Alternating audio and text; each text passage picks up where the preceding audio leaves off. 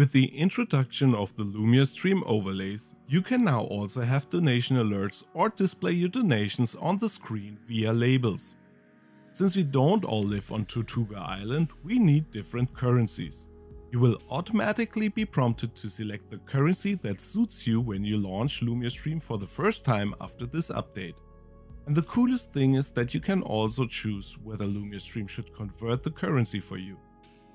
This means that if you receive a donation in pesos but you want to have US dollars as your default, Lumia Stream will convert for you in real time at the current rate. This way, you can immediately see if your viewer has donated $200 or rather 10. If you want to change this later, you can do so in settings under general. This way, all donations sent by any donation service that isn't converting will be displayed in your currency and the right amount that was given.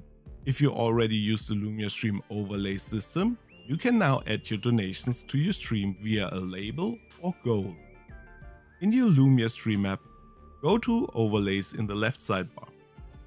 If this is your first overlay, click Add New Overlay. Give the overlay a name and select your resolution. Then click Add New Overlay. In your overlay, click Add Layer and choose a label.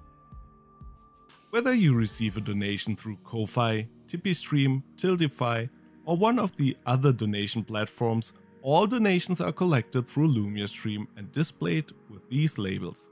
Or choose a goal. Click on Add Layer, Goals and choose one of the pre-made goals here. You can then customize your style via the right sidebar. Under goal type, you can choose whether you want to have text only, a horizontal fill bar, or a vertical fill bar. The current value is the associated variable that retrieves the appropriate values. In target goal, you can set your target if you want to encourage your viewers to reach your goal of $50, enter 50 here. Display value tells your bar what to display. Label is the name of your goal. You can enter an individual name here.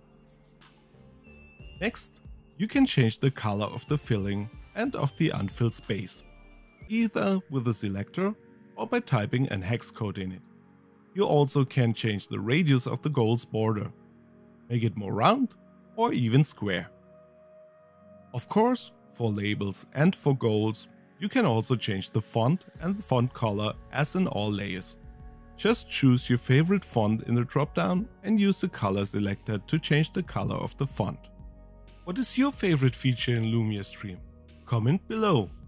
Don't forget to check out our other tutorials about all the amazing features of Lumia Stream. Give us a thumbs up if you liked this video, subscribe to not miss out, and have a luminous day.